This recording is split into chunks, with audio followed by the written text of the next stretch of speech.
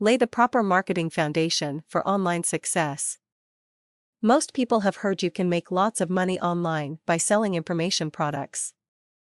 Although this is true, it's important to lay a proper foundation to get optimum results, understanding your unique selling proposition, analyzing the market, and identifying your target market or ideal customer are the steps to take before launching a marketing program. They will save you time, money, and frustration over the long run. Many people think they are saving time by immediately trying to gain market position, but doing this can derail your efforts. Let's take a look at who your market is, what your expertise is, and what your market's challenges are. Step 1. Identify your market. You've probably heard this before when everyone is your market, no one is your market. Often, the people you want to sell to are people like you, so you imagine you know them well. But this is not always the case, Target market analysis Target market analysis tells you who needs and wants your product and who can afford to buy it. Plenty of people may want and need your product, but that doesn't mean they can afford to buy it.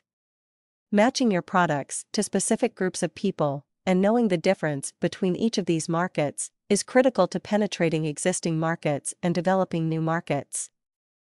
You must be able to match the product you offer to specific groups of people who are willing and able to buy the product. You must also know the differences of these target markets. Don't limit yourself to one market, you may have several.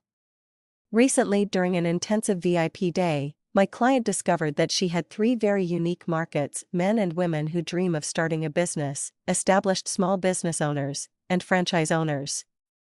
Each market was unique, and she needed a different marketing strategy for each.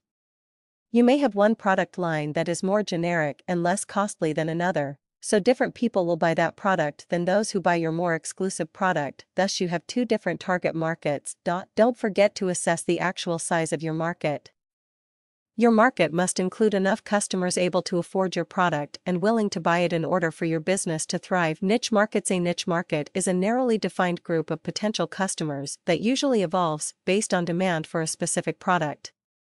Niche markets can arise from changes in society, technology, or fashion, product development for a niche market is the process of finding and serving pockets of customers in a profitable way by designing products custom made for that market. Niche markets can be more profitable than broad, generic markets even though they are so much smaller. And especially if you are viewed as an expert and go deep into the niche market with your offerings.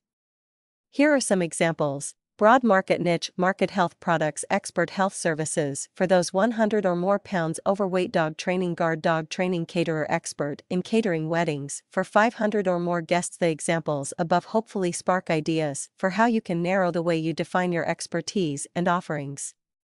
Take time up front to analyze your market to gain the greatest benefit when you do launch a product and or service. The payoff will be worth the extra effort.